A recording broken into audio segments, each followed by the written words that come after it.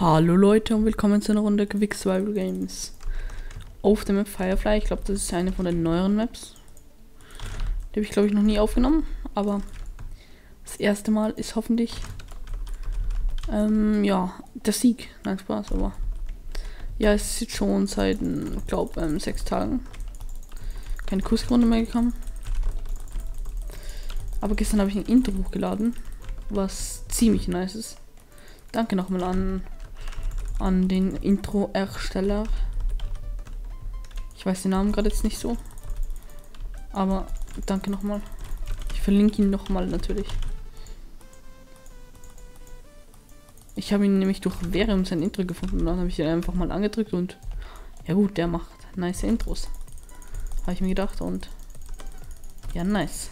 Dann habe ich halt ein nice Intro bekommen von ihm. Und danke nochmal. Er war auch ziemlich schnell fertig. Nach einem Tag, glaube ich. Und das ist ziemlich nice.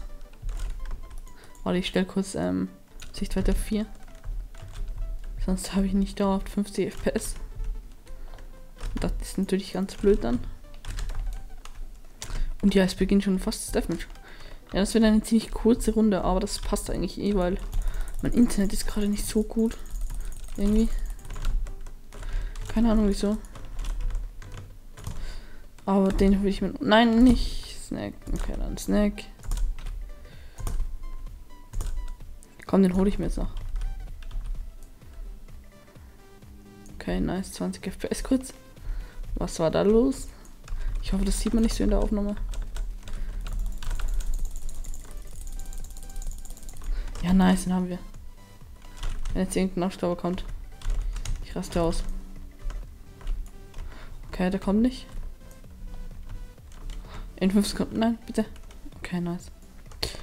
Nice. Wir haben 30 Pfeile und ja. Und ich probiere nicht mehr so, so oft F5-Modus zu drücken. Denn einer hat so in den Kommentaren geschrieben, F5-Spammer und so. Ja, es stimmt schon, dass ich oft F5 drücke, aber das ist so eine Angewohnheit, dass ich halt ähm, immer hinter mich schaue, ob ein Gegner da ist. Aber das werde ich in Zukunft ein bisschen lassen in den Aufnahmen.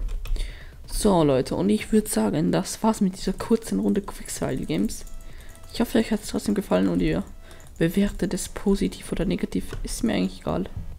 Aber lasst trotzdem eine positive Bewertung da und ciao.